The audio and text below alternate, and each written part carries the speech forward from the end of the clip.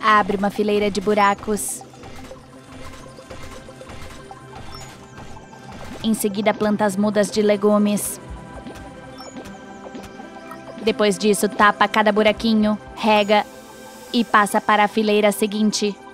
O robô está fazendo uma sequência, que é um conjunto de instruções executadas de forma sequencial, ou seja, uma depois da outra. O robô tem que concluir primeiro uma tarefa para depois iniciar a seguinte.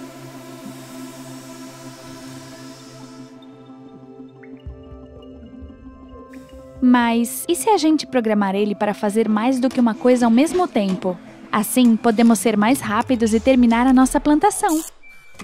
Em programação, essa solução é chamada de execução em paralelo, que é quando um programa executa várias ações em simultâneo. Com o robô programado dessa forma, a horta fica pronta bem rápido. Agora é só esperar que a natureza faça o resto.